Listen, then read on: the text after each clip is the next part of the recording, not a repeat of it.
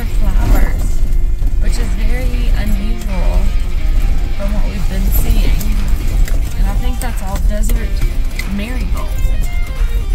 But in a random spot, just a whole All these little hills just look like hills of Just gold. yellow. Yeah, they do. Those are all flowers. This is the first time we've seen this. And right now we are between Black Dike and Gauging Station on River Road West.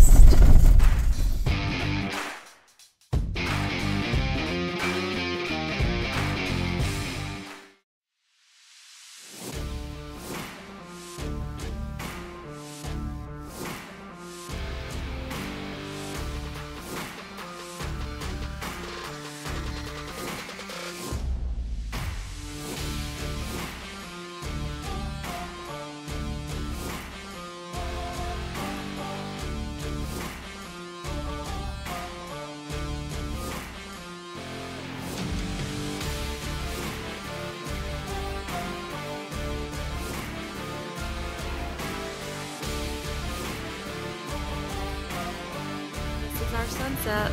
We're on Black Gap Trail.